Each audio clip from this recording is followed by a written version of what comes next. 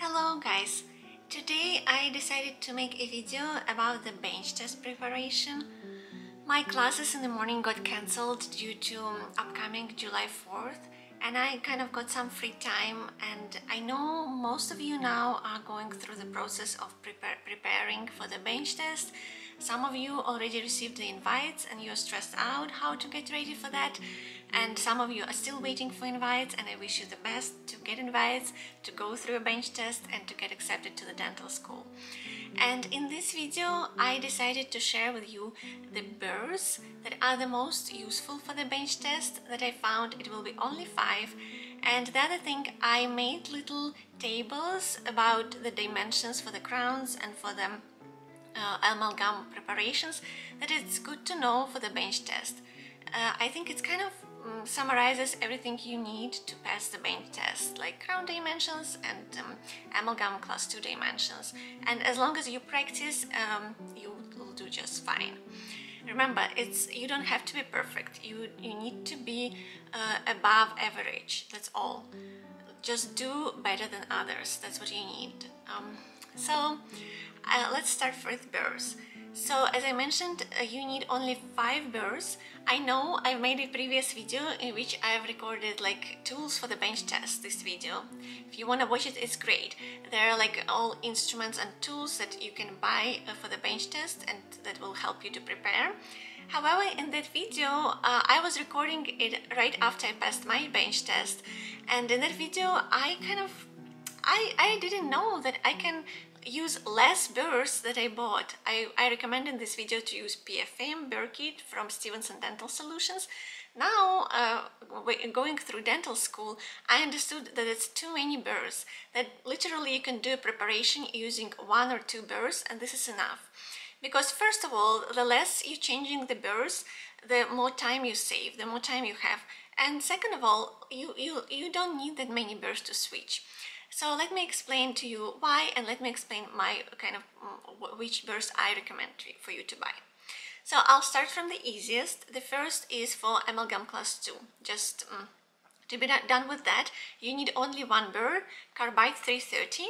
And here uh, um, I'm inserting here on the screen the table of dimensions for the amalgam, amalgam class 2. Hopefully this will help. Just take carbide 330 and um, try to do the prep with these dimensions and you'll be you'll do great on your bench test.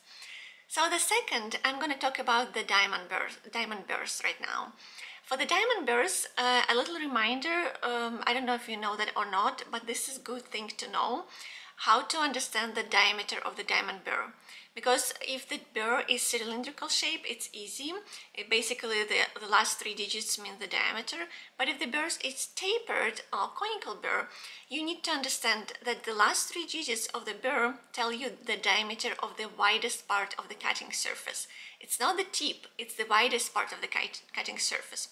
So for example let's talk about my favorite burr. This will be burr number two the 6856016 and I'm gonna uh, write it down here so it's easier for you to know. So this burr ends three last digits 016 that means uh, the diameter of the widest part which will be it's tapered and it will be the on top the upper part will be 1.6 millimeters. And the diameter of the tip of this burr if this particular one is um, uh, the tip is one millimeter in diameter. So when you do your prep you kind of need to know this because it will help you to do your measures uh, for the um, particular crown prep. So the diameter of the tip will be diameter of your margin right? Uh, anyway uh, let's move. So this burr I would recommend to buy it for everyone literally for everyone. You can uh, use only one this burr to do all your preps I know in this video I'm recommending you five burrs because it's a little bit you feel more confident and comfortable when you have choice to do particular um, like finishing, polishing, um, uh, uh, different stuff. But you literally uh, can buy only 330 for the amalgam preps and you can buy 685616 uh, for the uh, all crown preps. Anyway, this burr is coarse, it's a green, diamond burr which is tapered in shape and it's ideal for all crown preps. Now, since I'm recommending you five burrs, I'm gonna move on. So the next burr is uh, completely identical shape as uh, the one that I mentioned, green, but it's just red. It's, it's just less coarse, that's all about this. And the number of this burr is 885616. Again, it's here below. And this burr you can use kind of to uh, finishing, polishing your uh, final prep. Um, that, that's the only difference. Otherwise, it's the same burr. You can you can do whole your prep.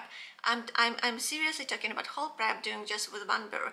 Occlusal reduction, interproximal um, uh, clearance, um, margins, everything you can do with the green one or with this red one. It's kind of up to you, the preference. But I like to have them both because I like a little bit too smooth with the red one after the green one. Alright, the next burr that I'm gonna talk is 878 uh, K0112. Uh, I bet you can say it's just 8780112. This one, the diamond burr, I recommend to buy it. Uh, it's very nice, kind of thin burr. You can use it. Uh, you can use it to break the contact. And if you're not, if you if you don't feel comfortable to break to break the contact with the regular burr, or you can use it uh, um, like I use it if I need to break the contact or I can use it for the full gold, or gold crown prep. I'd say you can still use the previous two burrs for the full gold crown prep. They are completely acceptable and you can do the perfect prep with them. Just don't engage full diameter. But if you want something um, kind of gives you the easier the result, you can use this burr um, and it will give you perfect full gold crown prep. I really like this burr. And uh, it is tapered from 1.2 millimeters in thickest and the tip is 0.6 millimeters. Again, uh, remember how I explained that last three digits tell you the widest um, diameter of the cutting edge. So 1.2 the widest, right? And the tip is uh, 0.6. And the last but not least, the burr that I recommend you to buy because um, it's kind of good for those who like perfection. It's uh, 10839012. Uh, it is cut, cutting burr to remove the J margin. So this burr uh, has no cutting surface on the sides, it only has cutting surface on the very um, flat on the uh, end. And you just go at the end of once you've done your prep and you just check for J margins because J margins obviously is a critical mistake. Um, I, I, I'm to insert here the table um, of all dimensions that you need for all kind of crowns. I hope that will help you a lot because all basically you need to memorize the dimensions for your bench test and um, feel relaxed, come to the bench test. If you see at least one green uh, diamond burr, the one that 856016, you're safe, you're on a safe page.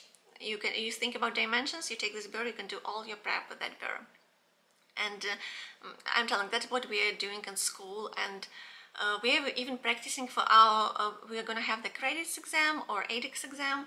It's up to the student's choice.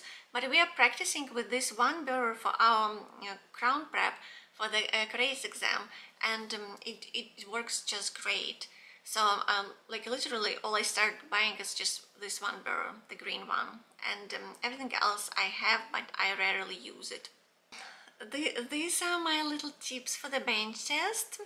Uh, the other thing, what else can I say? Just guys, calm, calm. Remember, bench test is not that important at your actual interview. Interview puts a lot, like basically how much they like you. They define it by interview. And then if you do okay on the bench test there is a possibility that, that we will um, choose you in comparison to other candidates who did maybe a little better on the bench test. Uh, like you need to you need to do okay you need to perform better than average to help you. But um, main thing is your interview and now I wanted to give you a little bit updates um, why I'm not recording videos so often as I used to anymore. Uh, I hope I will come back. It just, um, before we had clinical certification course, we, wor we worked in simulation lab and we just were practicing our manual skills as well as our knowledge, uh, but uh, we had lectures. But now we started clinics, uh, clinics with patients and it got very, I'd say it got very stressful because it's a lot of information and the main stress comes from the clinics is from the program. They they have us to put all information about the patient in a program called axiUm and this program is insane. I mean you can learn it. I feel like more more comfortable with this program.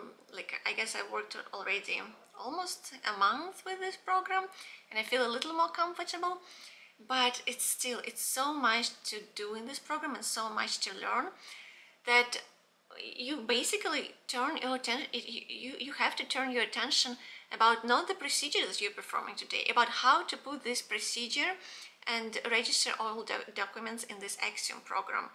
And it takes your attention away from the patient which is not good.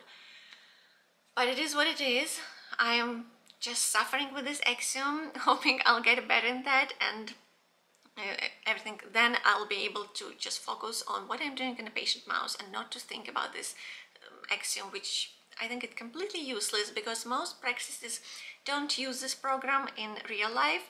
I've heard they use it only if you work with the Medicaid insurance but otherwise you don't need to know this program because it's too much bureaucracy and too much unnecessary I guess things you have to do that like some referrals or uh, forms uh, it's like consents.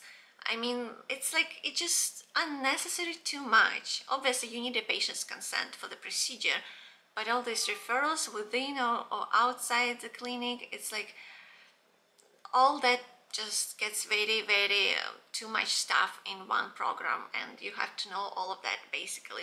Otherwise you cannot document what you've done to the patient and um, as we all know, it's very important in the United States to document everything.